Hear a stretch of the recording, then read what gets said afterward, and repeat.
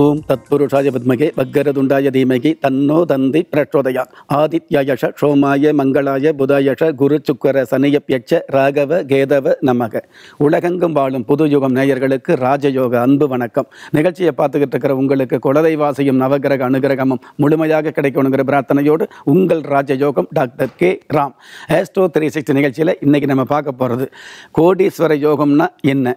கோடீஸ்வர யோகம் எந்த கிரகத்தின் மூலமாக கிடைக்குது? அந்த கோடி கோடீஸ்வர யோகம் ஒருவருக்கு எந்த வயசில் வருது அப்படிங்கிற பல்வேறு விஷயங்களை வந்து நம்ம ஓரளவு தெரிஞ்சுக்கிறோம் ஆனால் உறுதியாக தெளிவாக தெரிஞ்சுக்கிறோம் அந்த வகையில் கோடீஸ்வர யோகம் அப்படிங்கிறது வந்து பார்த்திங்கன்னா பொதுவாகவே இன்றைக்கி வாழ்க்கையில் எவ்வளவோ யோகம் இருந்தால் கூட இந்த கோடீஸ்வர யோகம் இருந்துன்னு வைங்களே கண்டிப்பாக வாழ்க்கைக்கு தேவையான பணம் இருக்கும் பொழுது வசதி வாய்ப்பு வரும் பொழுது வாழ்க்கையில் வரக்கூடிய எவ்வளவோ பிரச்சனைகளை வந்து இந்த பணம் அப்படிங்கிற மூன்று இடத்துல சமாளிக்க முடியும். அந்த பணத்தை கோடி கோடியாக கொடுக்கக்கூடிய யோகம் தான் கோடீஸ்வர யோகம். இந்த ஜாதகத்தில் வந்து பொதுவாக யோகங்கள் எவ்வளவோ ஆயிரத்தி நூற்று சில்லற யோகங்கள் இருந்தால் கூட ஏன் இந்த இந்த கோடீஸ்வர யோகம்ங்கிறது மட்டும்தான் எல்லோருமே அதிகமாக எதிர்பார்க்கக்கூடிய ஒரு யோகமாக இருந்துகிட்டு இருக்குது இந்த கோடீஸ்வர யோகம் அப்படிங்கிறது வெறும் ஒரு கோடி இருந்தாலும் கோடீஸ்வரன் தான்.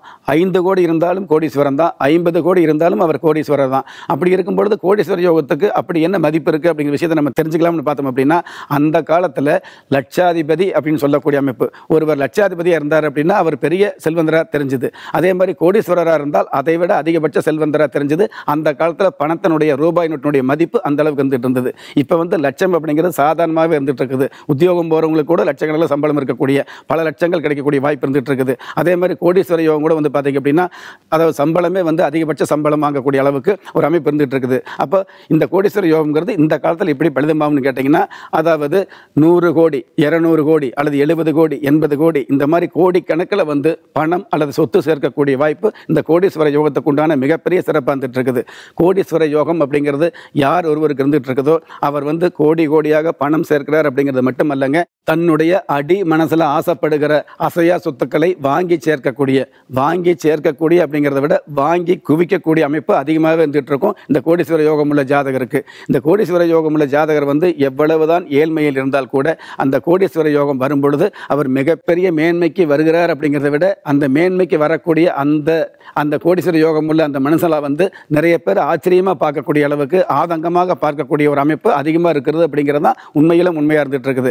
அந்த வகையில் இந்த கோடீஸ்வர யோகம் வந்து இருக்கிற நவ கிரகங்களில் எந்த கிரகத்துக்கு அதிகமான பங்கு இருக்குது அப்படின்னா பொதுவாகவே குரு பகவானும் சந்திர பகவானும் சேர்ந்து இருக்கும் பொழுது குருச்சந்திர யோகம்னு ஒரு யோகம் வந்துட்டு இருக்குது. இந்த குருச்சந்திர யோகம் இருக்கக்கூடிய காலங்களில் குரு பகவானுடைய திசையோ அல்லது சந்திர பகவானுடைய திசையோ வரும்பொழுது இந்த கோடீஸ்வர யோகம் அப்படிங்கிற யோகம் நிச்சயமாக இருந்துட்டு இருக்குது. அதே மாதிரி ஒரு ஜாதகத்தில் வந்து ராகு பகவான் வந்து மகர ராசியிலிருந்து அவர் வந்து திசா நடத்தும் பொழுது அவருக்கு இந்த கோடீஸ்வர யோகம் அப்படிங்கிற அமைப்பு இருந்துகிட்டு இருக்குது அதே மாதிரி செவ்வாய் பகவான் மகர ராசியிலிருந்து ஒருவருக்கு திசை நடத்தும் பொழுது அவருக்கும் இந்த கோடீஸ்வர யோகம் நில புலன்கள் சொத்து சேர்க்க ஏற்பட்டுறது அதே மாதிரி சனி பகவான் வந்து மகர ராசியில் இருந்து ராகு பகவானோடு சேர்ந்து பொதுவாகவே சனி பகவானோடு எந்த கிரகம் சேர்ந்தாலும் அந்த கிரகத்துக்கு வந்து அதாவது யோக பங்கம் ஏற்பட்டுருங்கிறது பொதுவான விஷயம் இருந்துட்டு இருக்கும் யோகம் தடை ஏற்படுதுங்கிறது பொதுவான விஷயம்தான். ஆனால் இந்த சனி பகவானோடு ஆயுள்காரன் என்று சொல்லக்கூடிய நீதிவான் என்று சொல்லக்கூடிய இந்த சனி பகவானோடு ஈஸ்வர பட்டம் பெற்ற ஒரே கிரகமாகிய இந்த சனீஸ்வர பகவானோடு இந்த ராக ராகு பகவான் சேர்ந்தால் மட்டும் யோகம் கிடைச்சிருதுங்க. நம்ம நிறைய பேர் ஜாதகம் பார்க்கும்போது கவனிச்சிருப்போம். சனி வந்து பார்க்குது அல்லது சனியோடு இந்த கிரகம் சேர்ந்துருச்சு அதனால வந்து இந்த யோகம் தடை ஏற்படுது உங்களுக்கு கிடைக்கக்கூடிய செல்வம் தடை ஏற்படுது அப்படிங்கிற மாதிரி நிறைய பேர் சொல்லுவாங்க.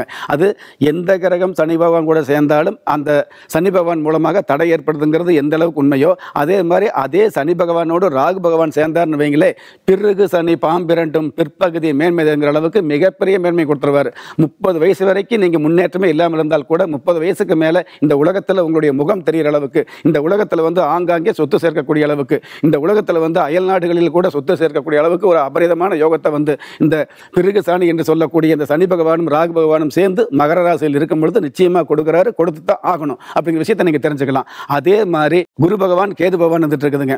நவகிரகங்கள்லேயே கேது போல கெடுப்பார் இல்லை என்று சொல்லக்கூடிய ஒரு பழமொழி இருந்துட்டு இருந்தால் கூட அந்த கேது பகவானோடு எந்த கிரகம் சேர்ந்தாலும் அந்த கிரகத்துக்கு வந்து இந்த கேது பகவானுடைய கெடுதல் அந்த கேது பகவானுடைய ஆதிக்கம் கேது பகவானுடைய வலிமை அந்த கேது பகவானுடைய ஒரு சில அனுபவங்கள் கொடுத்துருதுங்கிறது உண்மையாக இருந்துகிட்டு இருந்தால் கூட இந்த கேது பகவானோடு இருக்கிற ஒன்பது நவக்கிரகங்களில் குரு பகவான் சேர்ந்தார் அப்படின்னா முதல் தர கோடீஸ்வர யோகம் அப்படிங்கிற விஷயத்தை நாங்கள் உறுதியாகவே தெரிஞ்சுக்கலாம்.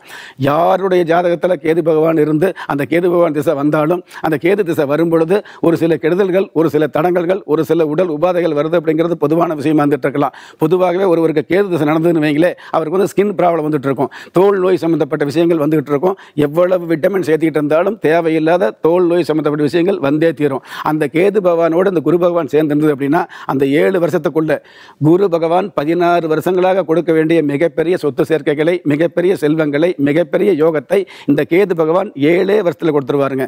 கேது பகவான் குரு பகவானோடு சேர்ந்து திசா வந்தது அப்படின்னா அதாவது கேது திசை வந்தது அப்படின்னா அந்த ஏழு வருஷத்துக்குள்ளேயே மிகப்பெரிய ஏற்றங்களை நிச்சயமாக சந்திக்க முடியும் யாராக இருந்தாலும்.